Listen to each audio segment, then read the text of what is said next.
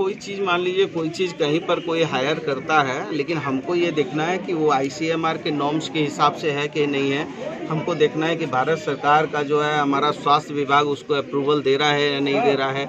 हमको ये देखना है कि हमारा झारखंड का स्वास्थ्य विभाग उस ऊपर जो है आ, ये कार्रवाई कर रहा है कि नहीं? तो मैं समझता हूँ कि किसने लिया किसने दिया ये मैटर नहीं है। मैटर ये है कि आज जो है पूरे झारखंड का रिकवरी रेट जो है सेवेंटी टू परसेंट के करीब पहुँच गया है। और पूरे देश में हम 16-17 राज्य ऐसे हैं जिनसे हम आगे चल रहे हैं। और हमारा जो मोडलिटी रेट है, मृत्यु दर है, वो भी आप समझिए कि आज 52 परसेंट है, जबकि पूरे देश का जो है मृत्यु दर 3.52 परसेंट है।